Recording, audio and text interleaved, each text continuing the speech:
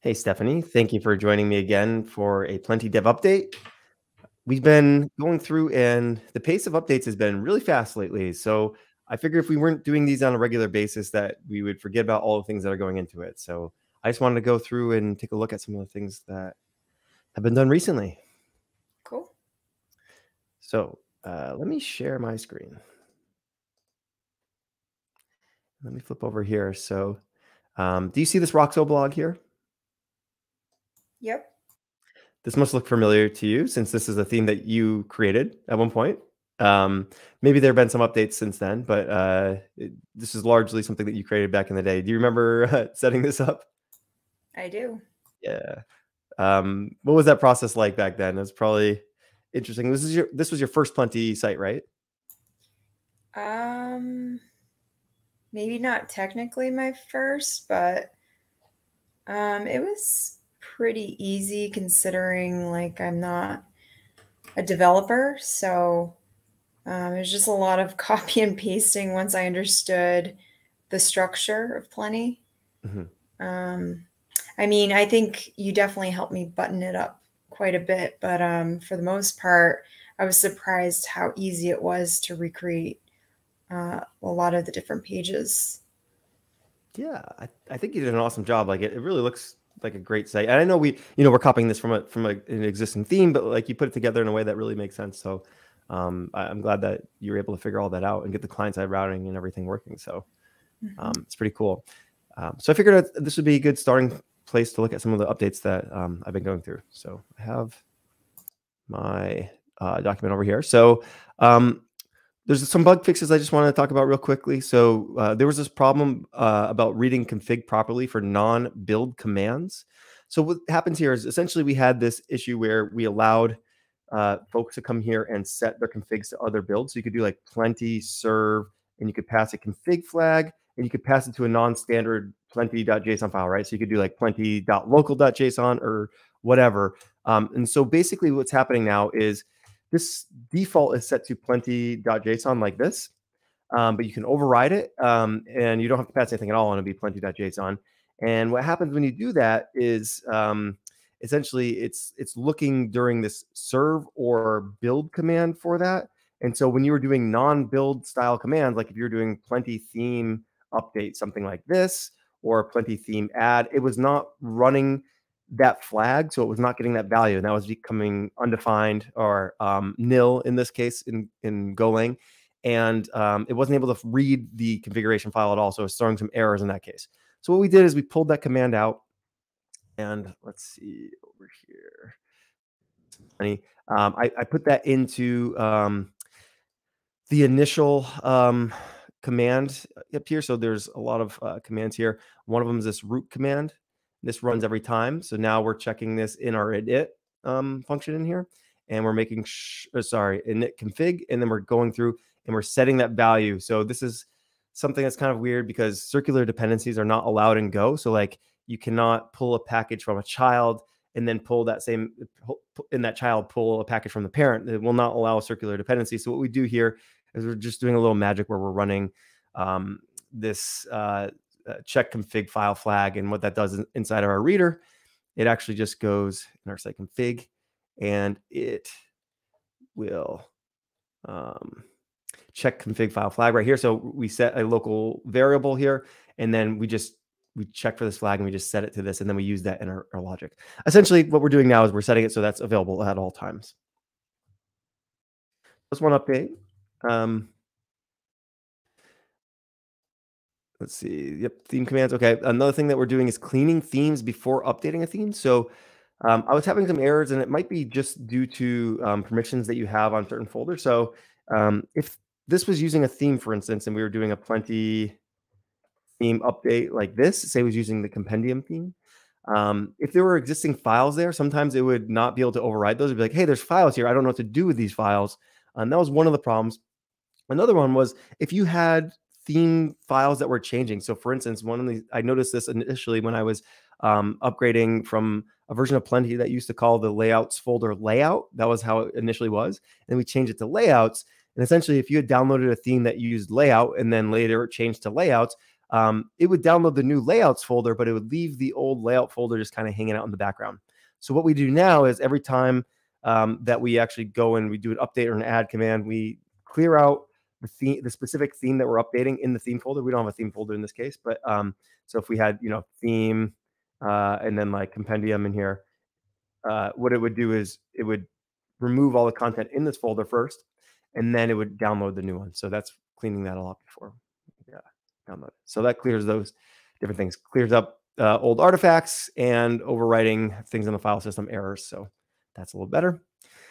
Um, another thing that has been fixed is the theme exclude um, command. So if you look at the Plenti documentation, there is a exclude command. So if we go to docs and we go to themes, you can see that you can exclude certain things in here. So say you only want layouts from a theme, you don't want any of its content, you can exclude content or you can exclude its assets.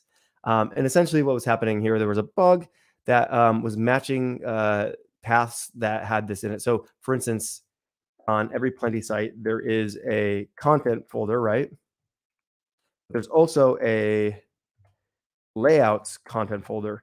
And if you were excluding content, it was matching both of these because it was just going through and it was matching the top level folder. And obviously, if we just want to exclude content, we don't want to exclude the layout because these could be very integral to the site. So what we're doing now is we're checking the full path. So we're making sure that we're if you know if we're excluding content that does not match layouts content, it has to be layouts content to match that. Um, another thing I want to mention is you could in your theme you could exclude um, specific files. So you could say like you want to exclude just like layouts, content, um, index dot svelte. You could exclude a specific file like that if you wanted to. So this is really powerful. You're not limited to just like these main top level folders. You can exclude anything that you want in your theme, and we should match it um, specifically that way. Does that make sense? I know that's kind of abstract. I don't have a good example up right now with a theme here, unfortunately. Um, but does that does that generally make sense? Why you might want to do that or what that's doing? Yeah. Yeah. Okay. Um, yeah. So because basically what happens, you know, with your theme, your theme gets combined with your local uh, project, and they they kind of like overlap on each other. And so sometimes you don't want all the things from both of those um, different projects. You only want some of it. So that that's a mm-hmm. theory behind that. Um, another um, update is just better errors. So um, we're trying to add the, the JavaScript stack trace back um, for debugging um, and some better GoPack errors. So GoPack is collecting your dependencies um, and changing your paths and making all that work. Uh, there was a couple of scenarios where those errors weren't very clear, but I've gone through and tried to wrap them with some more helpful information.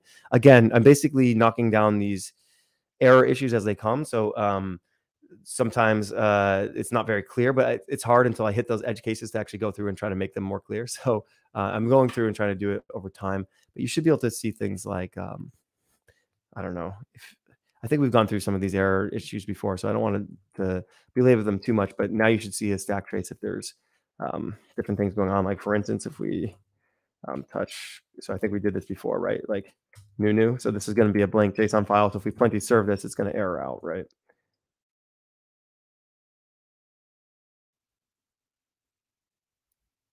Okay. So I mean, this is this one actually doesn't need a stack trace just because it tells you exactly end of the JSON. So that's a that's a bad example. Um, I don't have one off the top of my head, but uh, some of these are getting better. Um, and if people come across them and they're not very clear, then just flag them in uh, GitHub, and we'll go through and we'll try to make the errors better um, going forward.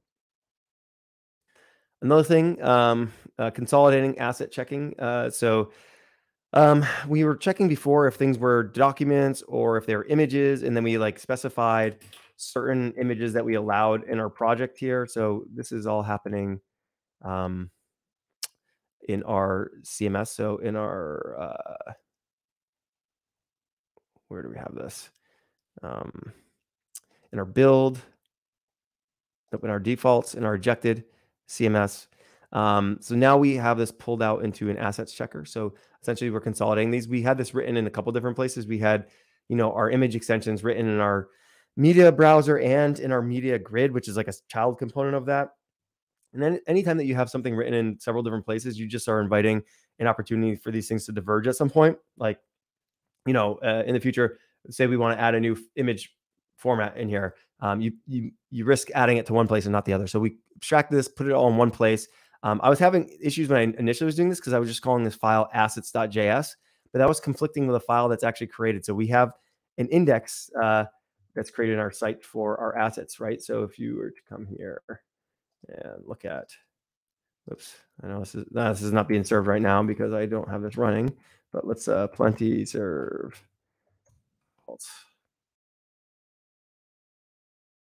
Here, do SBA expected CMS assets dot as. So we already have an index of all our assets. This is how our CMS is doing media management. Um, so I was trying to name that file that, and it wasn't clear because it's not in my file system, so it wasn't conflicting here, but it's something that gets generated. So we just have to be extra careful in the future, making sure that we know which are the generated files and not try to override them. Um, so that's one thing that's happening there. Um, but also, yeah, so we're checking uh, image extensions. We're checking, we have regex for images. Um, we have doc extensions, regex for docs. This will get more robust over time. This is pretty small right now. Um, and then we do some new asset checking to make sure that we know if something is an asset or not. And this is based on file path. And this is going to be used in kind of the image swapping feature that I'm going to show you in a second. So, um, yeah.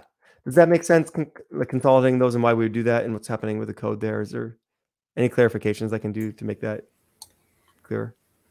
Um, to be honest, I'm not. I don't really understand it, but um, yeah, it's kind of. It might just be because I don't have any development background. Yeah, and to be fair, this is kind of like you know, really like um, in the meat and potatoes of of Plenti's engine, and not really something you need to know as a user experiencing uh, building sites with Plenti. This is really just something like this actually these are ejected files, right? So they don't actually ever hit your uh, file system unless you purposely eject them to override them or change them, right? So this is for for the average user. This is not really needed. This is just just trying to do a good job of like updating what's actually happening on our end behind the scenes so people understand like some of the stuff that we're doing and going into it for any of the people who are interested in that world um, especially folks who want to become contributors at some point i'm hoping that you know getting them up to speed with some of the stuff we're working on this way maybe will help them but um, I would say it's probably not super important that people understand exactly what's happening here. Um, besides the fact that we're trying to make things better uh, all the time. Uh, so that's kind of the uptick there. Okay, um, great. So then the last thing here is just um, how do we do image switching and swapping, and uh, how do we, uh, you know, account for um, different scenarios? So, um, you know, uh, for instance, I was having trouble with image switching with recursive and nested images um, being in my content source. Um, and I'll show you what that looks like in a second.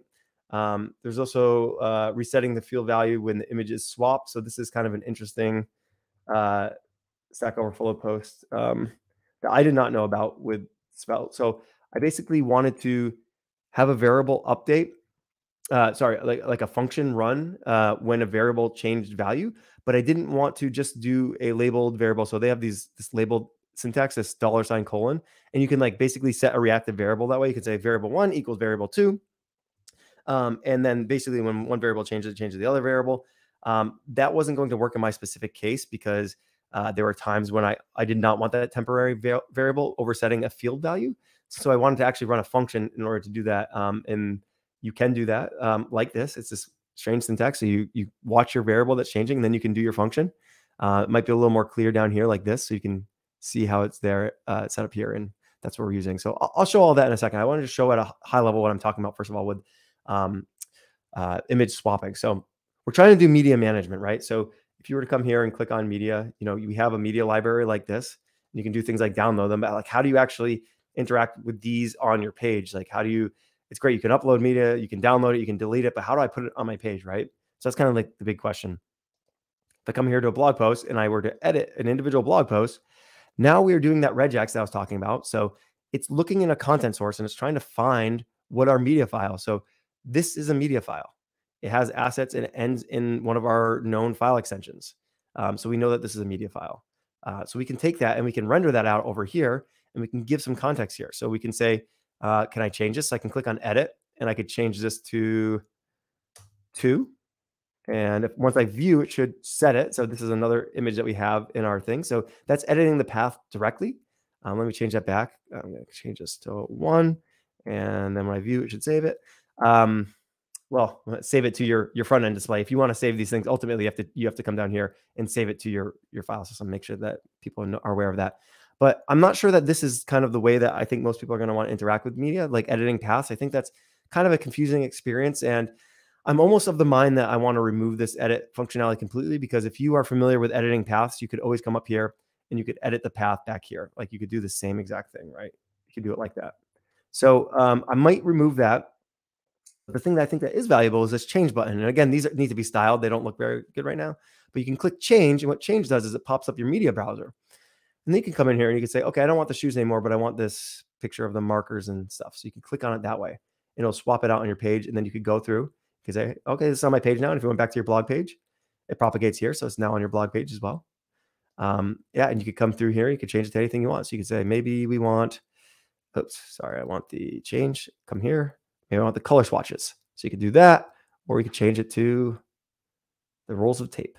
Um, so this really gives you like a, a quick ability to go through and manage the media on your existing pages and swap them out on the pages. Um, when you are happy with something like that, you would actually want to come down here and save it to make sure it's permanent because um, this will disappear the next time you reload the page.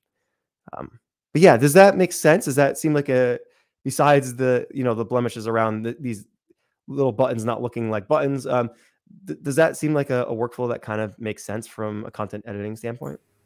Yeah, yeah. Um, does the CMS like if you have an existing site um, and then you update your Plenti to with with these new updates whenever that's released, is it going to automatically identify the assets like the pictures? Yeah, and so that's a that's a good point. So, and this is a, a case where um, I had to change this theme to make sure it was doing that. So I'm trying. So everything right now is this this on the side is this thing that we're calling the discoverable CMS. Um, we're debating about the name, but I've been calling it discoverable CMS. So what it does is it looks at your content your content source and it tries to discover what you're doing. So for instance, it discovers that this is a date, right? It comes over here and says, okay, this is a date. Now we have a date picker. You can just choose today and it updates it, right? Looks at this, it says, I don't know, this looks like a standard text field. Comes over here, gives it a standard text field. And then it looks up here and it says, this is an asset, right? So it comes over here and it says, okay, I think this is an asset, and it tries to work with it as an asset.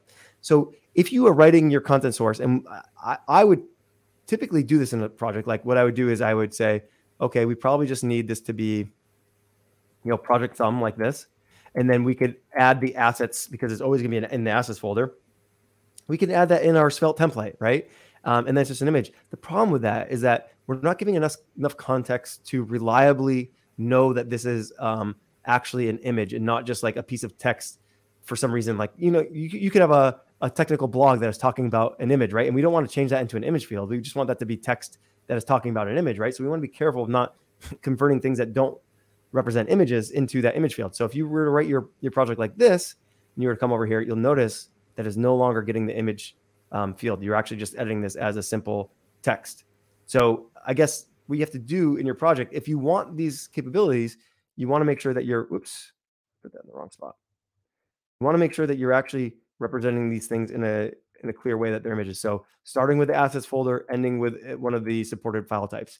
And that's how you define that something's an image. And that's how we'll discover that it's an image. So you might have to go through and think about your projects a little differently. So somewhere where you might typically just put the image and then hard code the rest of the stuff in your template, you might want to think about putting the full image source into your content just so it works with the CMS uh, out of the box. Is that did that clear your question up or yeah um but so will it will it know the whole image library as well like will it find as long as it, i guess you have everything in your assets folder right yeah so um yeah so it should so basically um this media browser will find your whole library right it should. Yeah. But there's still some bugs here. Um, but this should find your whole image, your image library, right? Um, cool. But um, what happens uh, on your content sources, like your individual content sources, where you're specifying where to use things, right? So it's like you could have images up here all day that are not anywhere in your content source. They're not referenced anywhere, right? Um, so only you're only swapping out images that are actually referenced somewhere. And so you go to that place where it's actually referenced, and then you can swap it out. I feel like you have a question on this. I don't. I, Oh, no, okay. that makes sense. Um, yeah, and then you should have your your full library available to you at that point, right? Like you should when once you're changing, you should have the full library. Um, I'm still working on getting this working. You should also be able to upload a new file here. So you should be able to click, you know, new file and upload right from there. Um, and then that should save to your library, and it should also swap this out here uh, and put it in your source.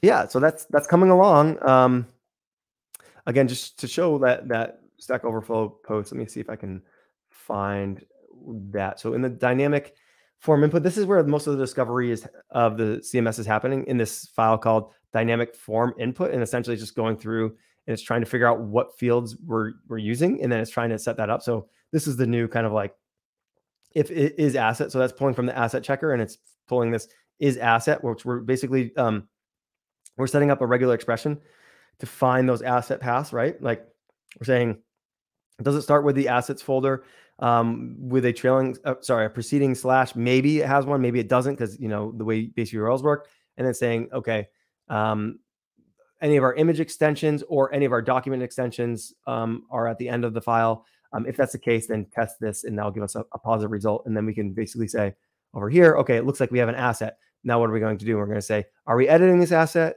It's like, no. Okay, well, then give a thumbnail for the asset and then give the options to edit or change it. And then if we are editing it, then we're going to go through and we're going to do a lot of other stuff. We're actually going to pass this these field values back up. We're going to, you know, hook into the media browser and get all that stuff working. Um, and then we're because we have to adjust the behavior of the media browser, right? If you're, um, for instance, if you're over here, let me just reload this.